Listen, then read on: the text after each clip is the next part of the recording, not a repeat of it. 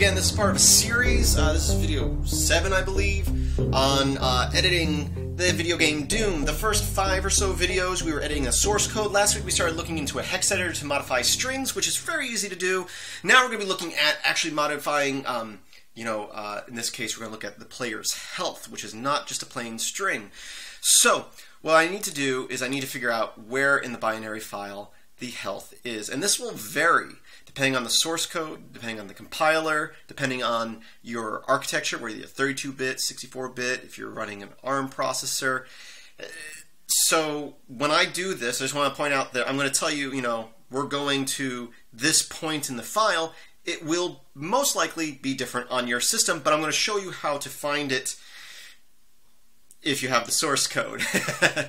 um, you're probably going to ask at the end of this, well, how do I do this if the source code isn't available?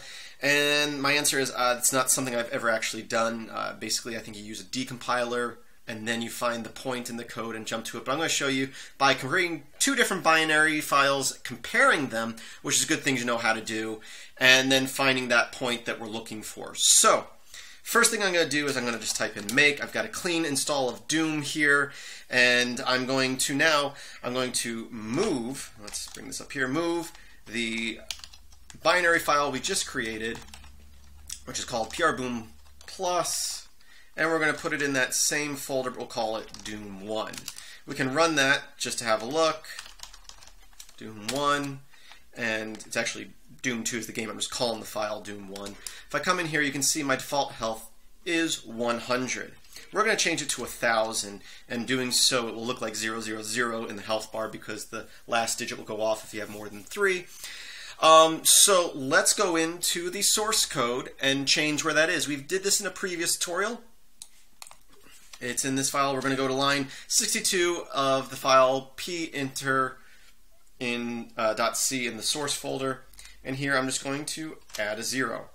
We're going to make that the only change you make, because more changes you make is going to make the binary file a lot different, and we're looking for something in particular. We're looking for that point, so we don't want to change anything else at this point. So now I'm going to say make, and I'm going to move that that we just created, I'm going to call that Doom 2. Now if I source Doom 2, and go into the game, you can see it says 000, which is actually 1,000. If someone shoots me, you'll see I'll get 900 something. Shoot me, thank you. Okay.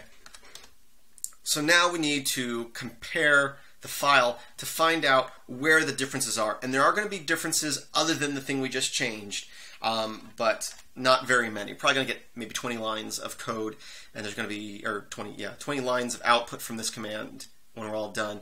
I'm just going to copy and paste this. CMP will compare binary files. There we go. We get that right there. Um, and then we can also add a gawk command to that. So let me go ahead and do that. I'm just going to copy and paste it. This all is in the notes in the description of this video. If you click on the notes, hopefully I remember to put it there. It'll bring you to uh, a pastebin file that has the notes on this whole video there, as well as uh, last week's video. So basically here, we're getting the differences, but we want to see it in uh, hex code. So there we go. We can do that. And now you can see right here, we got a bunch of different stuff, but we have differences. The last two lines are what we're looking for. They're right next to each other. You can see there's the location in the file, and 6400, and this one's uh, E803. Uh, let me real quick show you here. If we bring up, I'm going to use Perl to do this, although there's online um, converters. I'm going to clear the screen. Oh, why did I clear the screen? Let's not clear the screen. Let's go ahead and I'm going to just paste this code here. And actually, that's what I wanted to show you. So we're using Perl and we're executing, it's telling it to print, unpack, and we're telling it just look at the notes. I'm not much of Perl, I just looked this up online. But if we do 6400 and hit enter, we get 100. If we change that to E803, we get 1000. There is our difference at these two points. So if we open up hex edit, which again should be in your repositories, uh, just use apt-get to install that if you're on a Debian-based system. And we're going to modify the original Doom file, the Doom 1 file, to be uh, have a thousand percent health, just like the Doom 2 file at start. So we're going to go source doom 1 and I'm going to hit F4 and paste in this location. And I actually did that wrong. So let me, real quick, quit out of that. I pasted in this location. If you don't do the the um, gawk part of this, if you just do this first part, if we scroll up, you'll see right here, it gives you a different number. So we can use this number, but you can see this value is different. That's why I converted it. So I can put in that value to jump to that spot, or if I use this one, if I hit F4, you can see, F4, you can see it puts 0x saying this is hex code. We'll paste it after that. If we use the one without gawk, you would want to erase that. So hit enter, and there we are, 64 and 0, 0.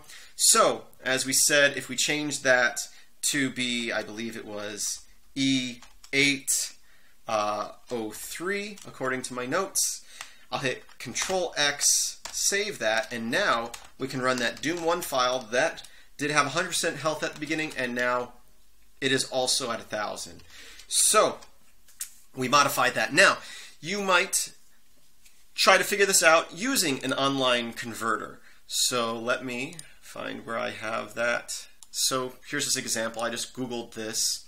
So uh, we want to convert hex to decimal converter is what we want. And if we run our code here again, so we were saying, using our Perl code here, that E0, uh, yeah, E803 is 1000, but if you put that in this hex editor, it gives you a much bigger number. It gives you 59,395. Because what we actually want is 03E8, which is a 1,000. Okay, so, and you can also write that, that leading 0 does not need to be there. We'll give you the same thing. I am not advanced enough on this topic to explain why that is, and it threw me off at first when I was trying to do this, that in this binary, it flip-flops those two digits, those two characters. Uh, I don't, I don't know, are those two set of characters. I don't know why if you know why, definitely comment below. This is not my strong suit. This is just me playing around and sharing what I've learned. Hopefully, my ignorance will allow me to explain it in a way that other ignorant people will understand. Ignorant people on the topic. Not. Don't mean to call you ignorant. Um, will understand it because sometimes when you understand something really well, sometimes you don't explain it very well uh, to someone who doesn't understand all the basics. So I just wanted to say that and hopefully I'm explaining that well. Now let, us look at this a little bit more. So how does hex work? Well, you have values 0 through 15. So there's, 15, there's 16 values altogether, 0 through 15. And it goes 0, 1, 2, 3, 4, 5, 6, 7, 8, 9, A, B, C, D, E, F. So if I was to just put F in here and convert, I get 15. So our code ended in 8, like that. I'm sorry, our code actually ended in, yeah, so 8 there. So I had 3E8, I think was a 1,000? Yes. So if we were to change this to 300, we get 768. Let's actually just put that up here, paste that, plus, oh, you already see that I've done this from my history, but we'll say that, and then our next character was E. So if I do E0, we get 244. We'll add that in there. And again, if we just did 8, which was our last character, we get 8. And if we add that all up and hit enter, we get 1000. So, again, the first column, as I started to explain, I don't want to get too much. You can definitely look up how hex works. But the first column, in this case 8, will go through 16. And then the next column will be a multiplier of that. So if we were to 1, 0, we should get 16.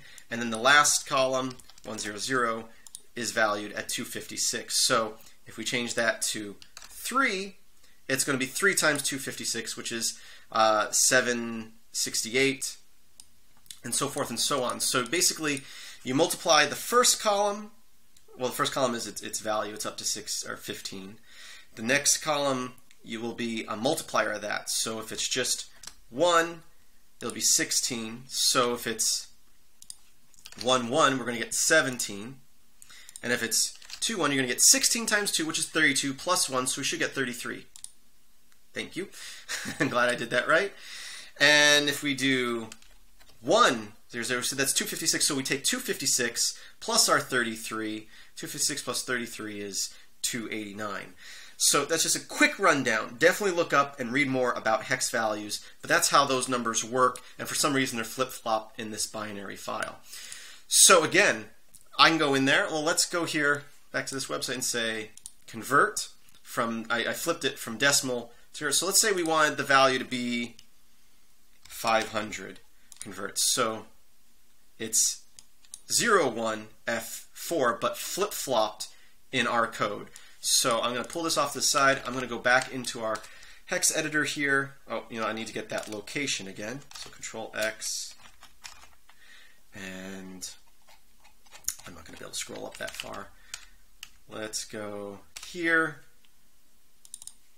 The file is different now. Oh, because the files are the same. Pooh.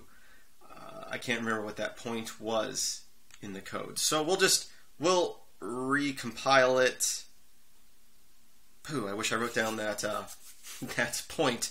See, the thing is, it's showing the difference in the file, and the difference before was those last two lines. Well, I made them the same now, so my comparing is not showing me that point. So what I'm going to do is I'm going to vim this again, and just for this, I'll change this to 100, save it, make it, and I'll move that back to 1. So Doom 1 now is set back to 100 health. If I run that again, Doom 1, you can see it's back to 100 health because we recompiled it.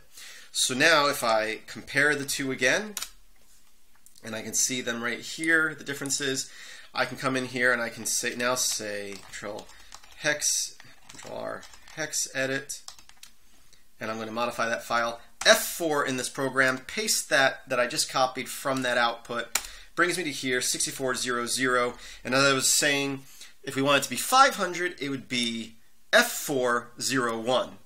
Hopefully I'm right on this. F401 should be 500. I'll hit Control X, Y to save. Now if I run Doom 1 again, and I go in, our health is at 500. So, again, in this particular case, we had two binaries to compare to find the differences, and we were able to look that up. So, it'd be a little bit different if you only had one binary, if you didn't have the source code on actually finding it, but uh, it's good to know how to compare files. I gave you a quick rundown on, on hex values. If you're familiar with, with uh, a binary, which is values of two powers of two, column 1 is 0, 1, then 2, then 4, then 8. This is, you know, through 0 through 15, 16, uh, 256, because it's powers of 16.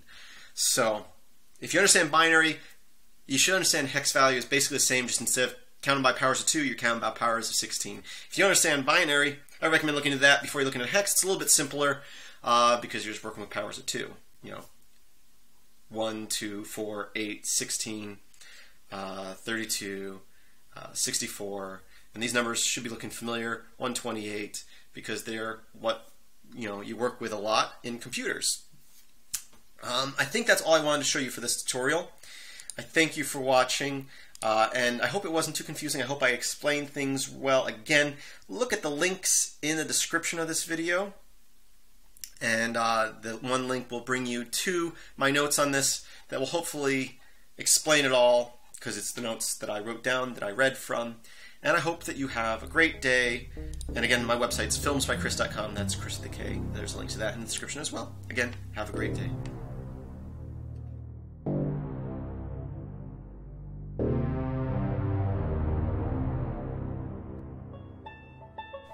Okay, this is an introduction to filmsbykris.com. I'm Kris, that's Kris the K. That's me right there. My daughter Ember, and my wife Jennifer. We pretty much live in the swamps of Florida. I'm a firefighter by day, as well as by night. We work long hours. But that's not why you're here. You're here about the videos I put up on YouTube. These videos are mainly about computers and programming, which means most of my videos look something like this. And if that's what you're interested in, great. If not, that's alright. I do videos on other topics too, such as video editing, special effects, photo editing, 3D design, and music creation. If you are one of my viewers and you enjoy my videos, my Patreon page is a place where you can go to help support my videos. So I ask that you take the time to go to my Patreon page and look at the different levels of rewards you can receive for different levels of backing. There should be a link in the description of this video if you are watching it on YouTube. Otherwise, you can visit patreon.com forward slash MetalX1000. And I thank you for your time and your support. Have a great day.